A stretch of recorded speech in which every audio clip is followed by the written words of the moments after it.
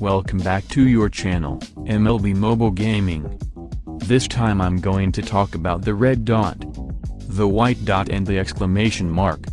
What does this mean? Well, now we're going to talk about it.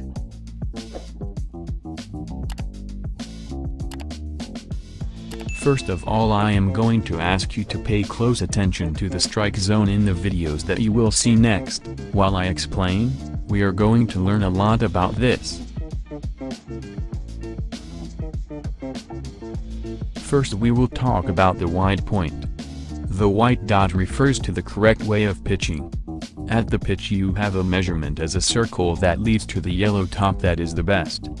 That bar allows you to make correct and incorrect throws.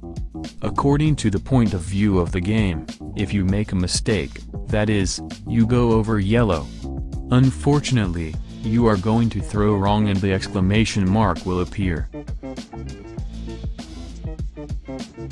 If you do it correctly, you're going to throw with a white dot. And, depending on the white dot that comes out and the type of throws you make, you may be able to deceive or overshoot the pitcher and hit several successful throws.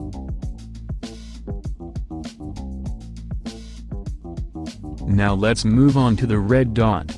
As we said before, if you go too far in the circle, a wrong pitch will be made. This is wrong when you don't want to show the pitching line.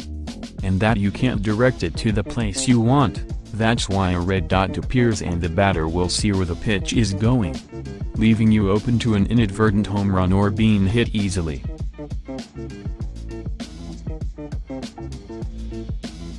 This red dot can be bad or very bad. If it's bad, only the batter can see it. If it is very bad, the exclamation point appears. And, the exclamation point means that the worst can happen to you. In this case, as we see in the video, you may be easily hit several times, even if you score home runs. The third point. It would be the exclamation point.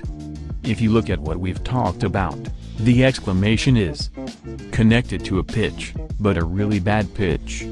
So, the idea is that it's not like that. But what if we are wrong? Well, we make mistakes. That's why we have to move on. Let's see. In the example we have here, Note that against teams that are stronger in level, we can deceive them with our launch.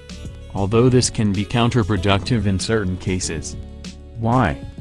Some teams that have a very high level can easily hit you even though they can't figure out where the ball is going because they have a bigger hitting zone or power to hit. And, although you can deduce where the launch is going, because of the difference in power, you won't be able to face it, but can you take advantage of this disadvantage? Yes. For example, you can improve your performance in the game. For example, if you're pitching, can you fool the batter? Could you make more balls until there is an out? Could you get a bad pitch to hit you and make it easy to get out? Yes, even against higher level teams. I leave the video until the end of the game, watch it and draw your conclusions.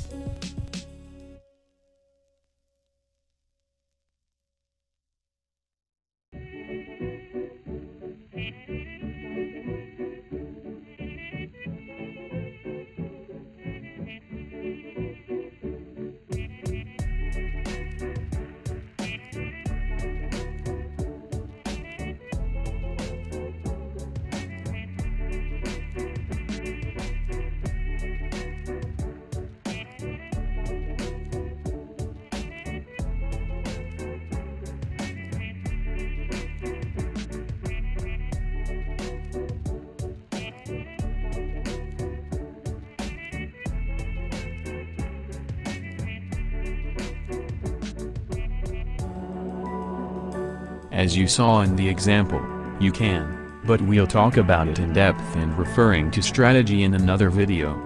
I hope this clarification of the red dot, the white dot and the exclamation mark will help you a lot. I say goodbye. Have a very good week.